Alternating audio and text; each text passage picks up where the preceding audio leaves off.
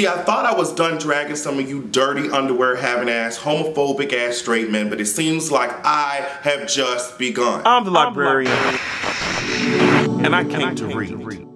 I don't know if clubs work the same way in my city as they do in yours, but in most nightclubs in my city, it's very segregated. So we have one night where it's a lot of white people that go, and another night where it's a lot of black people that go. And they alternate nights, but it's usually switching between Friday and Saturday nights. And a lot of the gay people that I know are really pressed when the idea of going to Black Night is what they call it, you know, behind the scenes.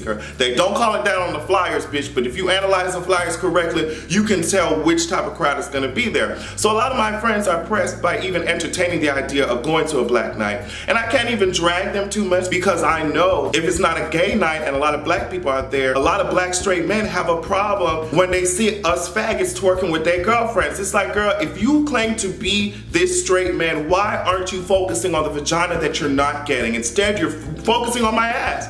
Yes, I'm moving around, I'm moving in a circle. If Beyonce comes on while I'm getting my life and, and I'm drinking, bitch, I'm gonna shake my asshole. And if there's something that you're pressed about, you need to go ahead and consult some type of life coach. Because as I said, if you're focusing more on gay men, then the woman that you came out there to see, that says more about you than it does about me. But anyway, I wanted to talk specifically about this night that my friend Gio had. So he went to an all black night. He was having his fun, you know, drinking with his girls. He was, girl, he was twerking his ass, bitch. Yes, his cute ass Hispanic ass was over here giving you everything that you needed. He was giving you a show, bitch. He was on the dance floor getting his life, girl. And I don't hang around a lot of people that don't embrace who they are. Okay, so if Gio felt like he wanted to twerk his ass, he gonna twerk his ass. He's not gonna pretend like he's one of these straight boys in there and just stand up and bop, bitch, no, and just be on the, bitch, straight boys kill me, be on the, pay uh, cover to be on the wall and just look. Now, bitch, I'm finna get in there and get my life hoe. If I paid this much money to get inside this motherfucker, best believe I'm gonna be out here Bitch, I'm gonna give you a show, ho, even though I paid for the ticket, ho. I'm gonna act like you did. Bitch, so yeah, Gio went in there and he is himself. So if he felt like doing certain things, that's what he motherfucking did. And guess what? These not minding their own business ass straight black men had to say about it. Bitch, they called security on his ass. And the reason they called security on him was not because Gio was out here groping them, because Gio don't give a fuck about that shit. Bitch, if he came out, he came out to have some fun. You hear what I'm saying? He, it's not because he was um, grinding on them, bitch, because I know a lot of people think that gay people just reach out and touch whatever they want to whenever they want to, as if you hoes have the qualifications. Bitch, you, you barely have the qualifications to be in relationships or even the line of eyesight of women. They don't, they're not even featuring your ass. So what makes you think that our high maintenance asses will want your dirty underwear having asses?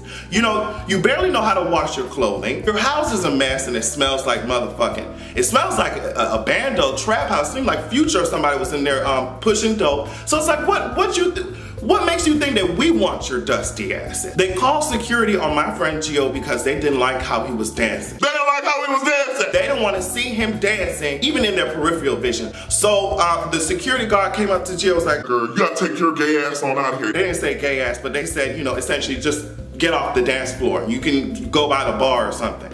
Now, Jill was like, so what do you want me to do, dance in the bathroom? Girl, they could, not say shit to that, but Jill took his ass on over to the bar and, and had his fun. But let me tell you something. It, it's getting annoying to the point where I, why do I feel more comfortable hanging out with straight white men? And I'm not saying that all of them are perfect and none of them are homophobic at all because especially if you get into the frat culture, they are ridiculous when it comes to that, even though half of them are gay as fuck and they just don't want to admit. And that's true, T, because some of them are DL and pretending to be, they got face this pictures on, on Grindr and Jack like this, bitch. What's up? No femmes, no fats, no blacks, no Asians. DL mask for mass, looking for same. So whites have their problems too, but it should not be where I'm more comfortable around modern day millennial college type of kids, white people, than I do around that same type of crowd and they're just, they're black. I think minorities like blacks and, and Hispanics have been so policed, they've been told that they don't amount to enough so, for so long that they now have to overcompensate. They said I wasn't human enough, they said I wasn't man enough, so now I'm gonna have to be hyper masculine. And now they wanna police everything within their line of sight. And homophobia has never stopped Gio, me, or the rest of my group of friends from going to a lot of places because it's like after we have gone through so much self-hatred, after we have dragged ourselves for half of our lifetime times after we have struggled to come out and accept ourselves. What makes you think that after all that self-hate that we have been through that you can drag us any harder, bitch? That you can make fun of us with any more intensity than we dragged ourselves? I think that a lot of straight men in general have such a serious problem with hypermasculinity, but I think because of the history of the black man, that is even worse in that community. But all that sociology shit aside, honestly, if you don't like something, why don't you focus on the things that you do like? I don't understand because I'm not someone that is heterosexual as you may have noticed. I'm not sure if I made that obvious yet.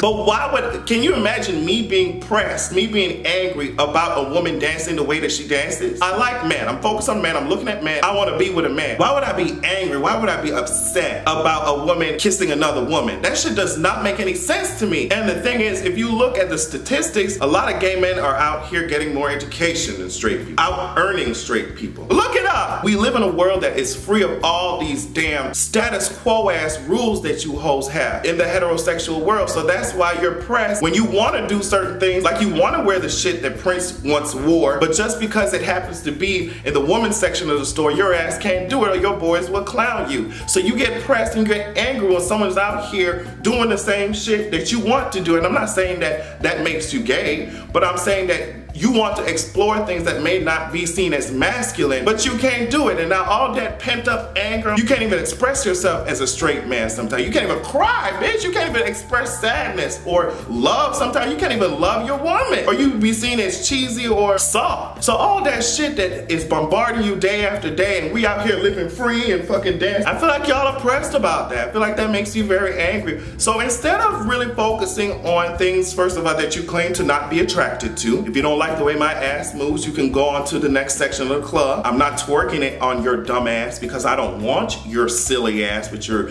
dandruff filled ass dreads. I don't want it. I don't want your ass. So if you're worried, first of all, don't worry about things that you're not attracted to. Second of all, if you're getting angry about the fact that gays are out here violating society's rules of what should be, then you need to go explore parts of your personality that may not line up with what society says. And maybe that will take some of the steam off and maybe you'll be less homophobic and violent. And lastly, bitches, I don't want any of you hoes ever again coming from my friend Gio or any of my friend group, anybody, anybody okay? Because I'm going to continue to drag and read your ass, okay? You lucky I didn't tell these hoes where the club was. The way that some of you straight men are so concerned with what gays are doing in real life, I can only imagine what you're doing online. What is your Pornhub search history looking like?